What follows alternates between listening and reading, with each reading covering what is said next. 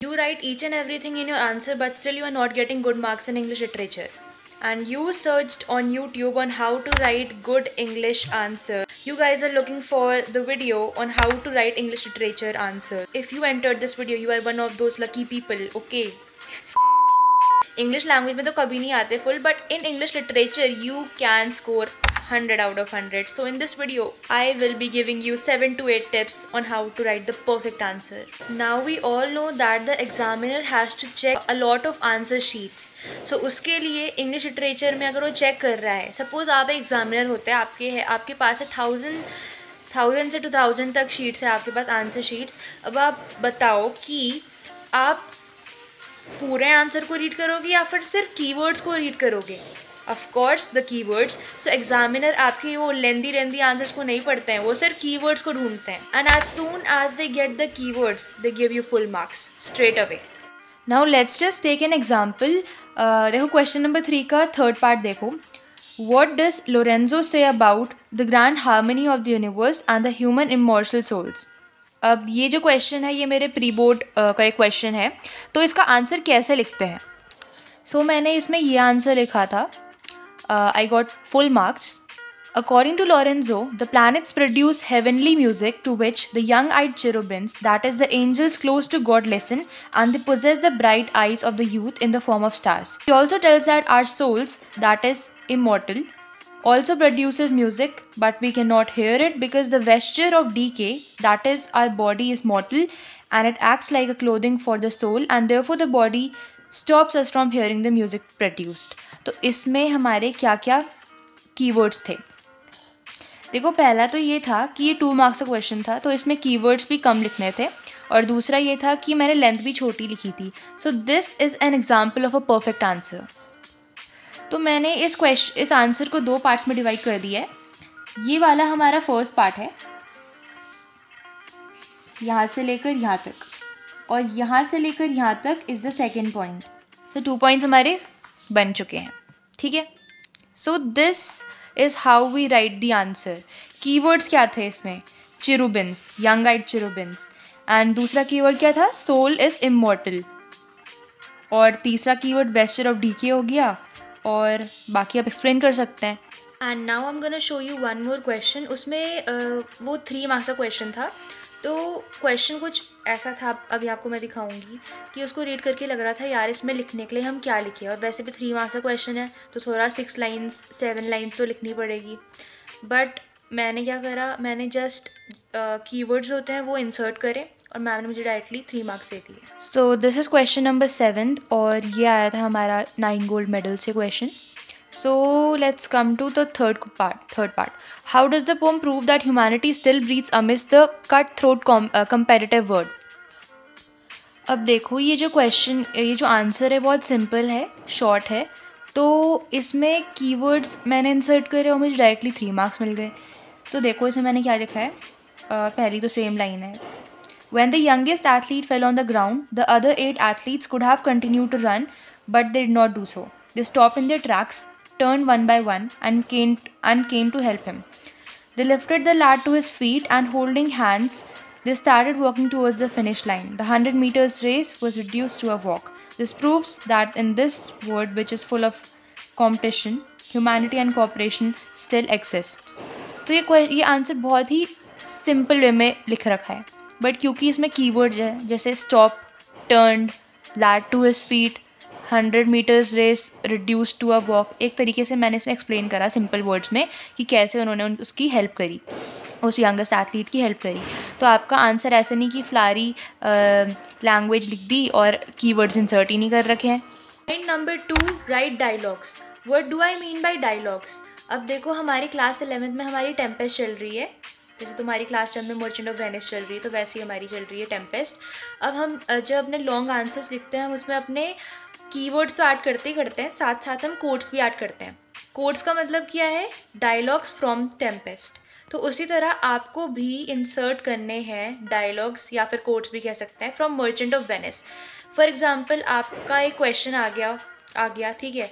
अब आपने सब कुछ लिख दिया, कीवर्ड्स भी ऐड कर दिए but you feel like a line should be added from merchant of Venice that should be relatable to the topic और द क्वेश्चन तो आप ऐड कर सकते हैं. It's very impressive and it's not at all necessary that the quotes should be written only in the M O V section that is merchant of Venice section you can use them in your answers of short story plus poems for example I have this same question जो मैंने आपको अभी दिखाया था.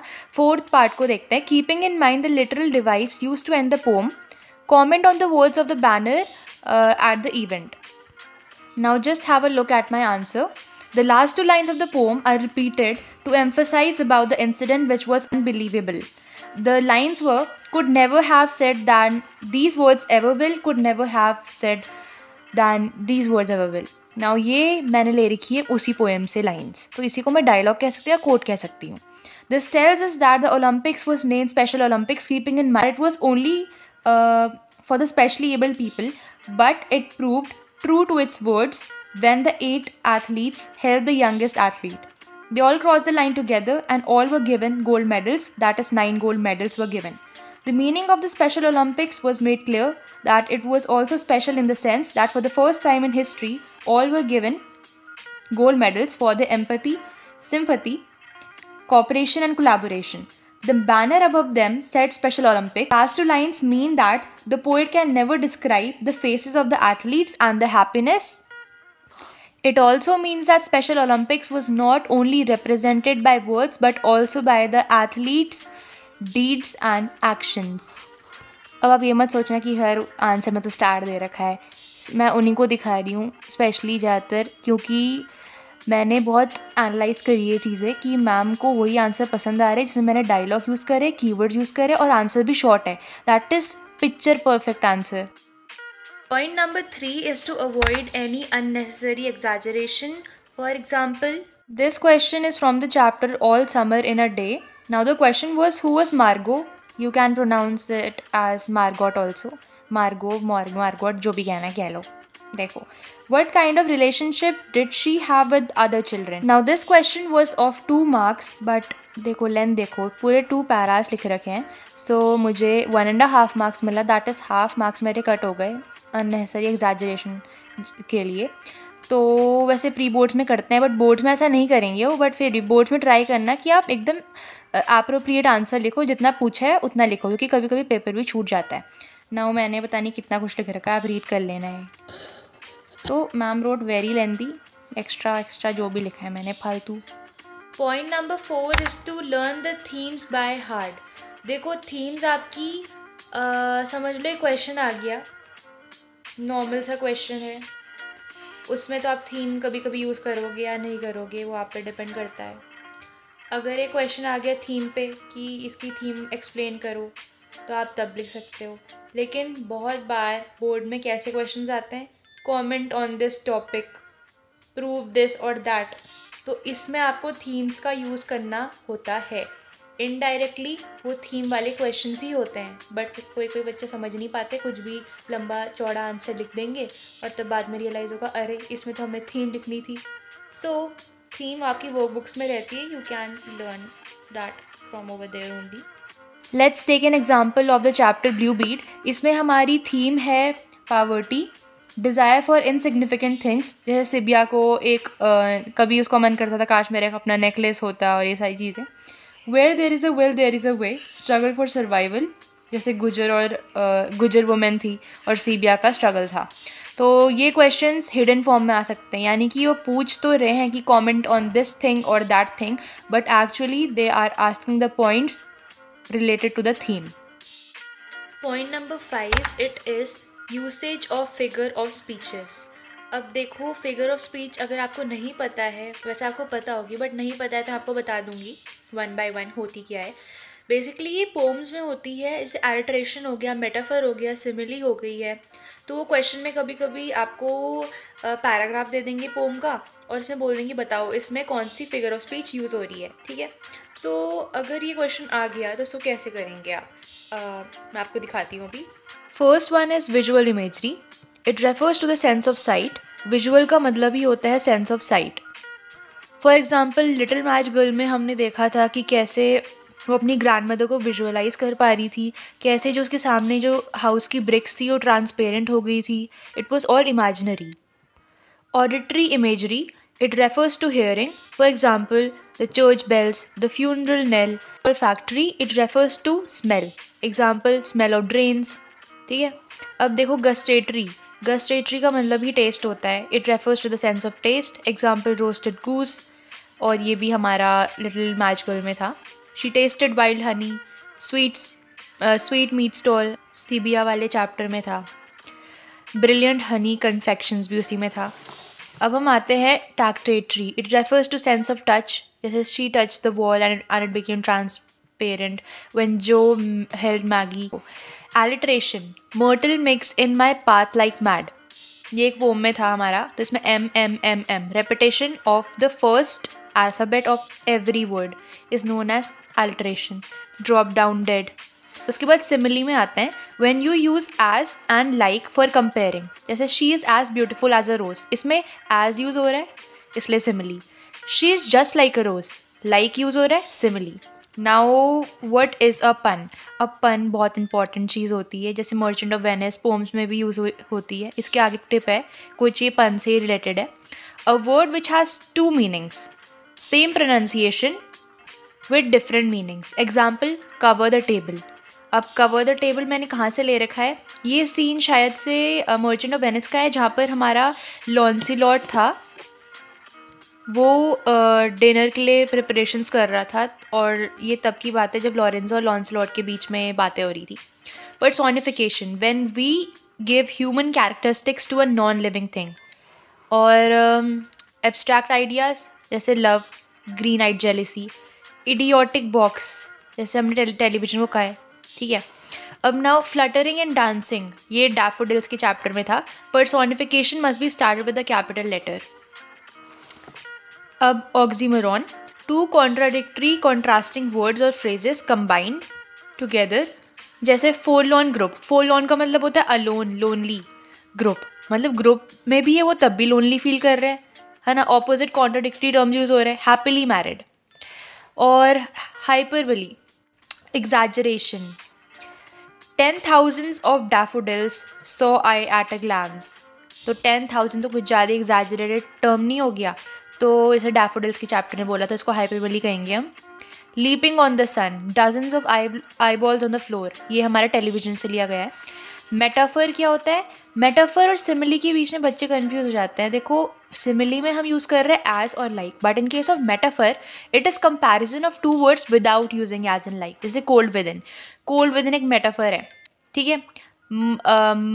Myrtle mixed lustre strokes bars of rage.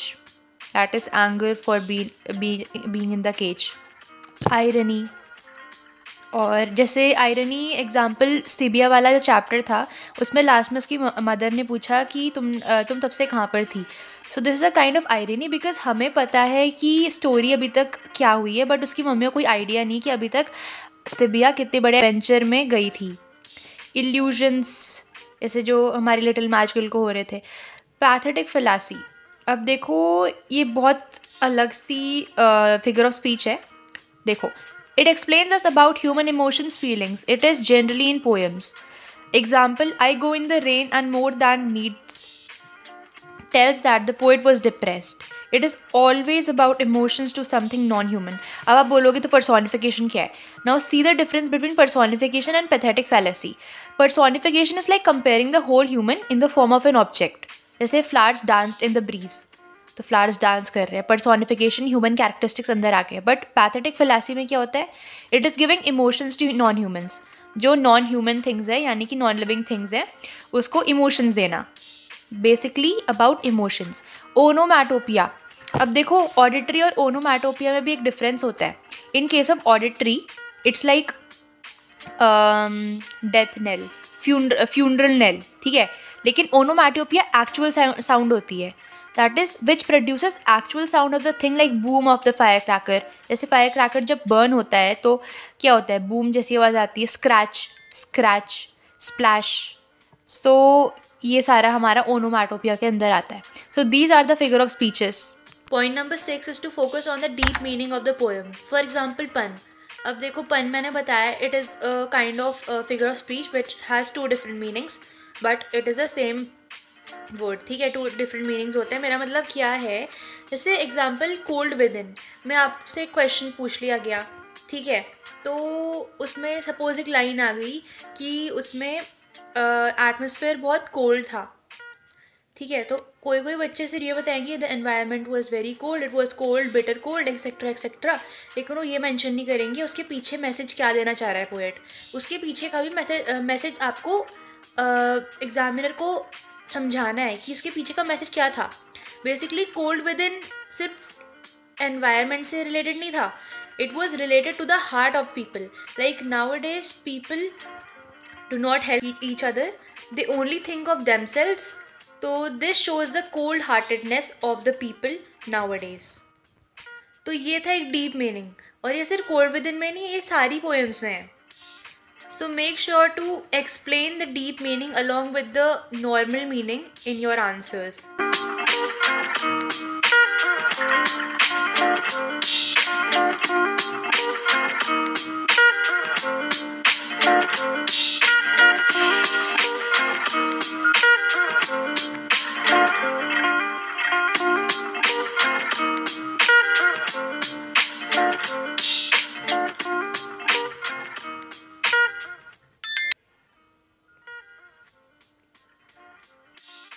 And a very important point is to learn the character sketch in MOV, the characteristics of the person in case of stories or poems, and even the description.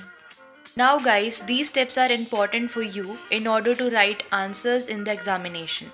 But it will be of no use if you did not study properly. If you are someone who finds it difficult to score good marks in English literature and want notes which includes perfect explanation of each poem, short stories, and scene-wise explanation of Merchant of Venice, then you should get the English Literature Smart Notes ebook and the Merchant of Venice Smart Notes ebook. The English Literature Smart Notes ebook consists of stanza-wise explanation of each poem and paragraph-wise simple explanation of short stories. The best part of this ebook is that it also consists of some important questions and answers of each poem and short story. The Merchant of Venice Smart ebook consists of these three important parts precise explanation of theme of play, exam oriented character sketch, and scene-wise notes of each act. These ebooks are available on ICSC Important Notes app. Just log in or sign up and add these two ebooks in your cart and apply the coupon code MOLLY10 and get additional discounts. To get them, these are extremely helpful for last minute preparation. Link is in the description box. Download the app now. So that was all for the video guys. Next video is going to be on topography and yeah like this video subscribe to my channel and hit the notification for more videos like these. I'll be back with more videos so stay tuned. Bye